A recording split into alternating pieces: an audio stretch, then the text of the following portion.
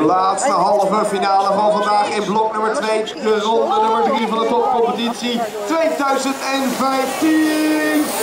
Team aan de leiding. Rodi van de Heuvel. Harsel gaat mee. Sander Schuring. En wat denken van het Underdogs team. Met Tom Meits in deze mix. We zijn gaan kijken en we gaan... Oh! Schuring is down, down, down. En daar profiteert dan één man van. Eén man die dan doorgaat naar de volgende ronde dat is in dit geval de 358 van Kersten. Want daarvoor ging Tom Meits en Boy van Harsel en Rodi van de Heuvel door naar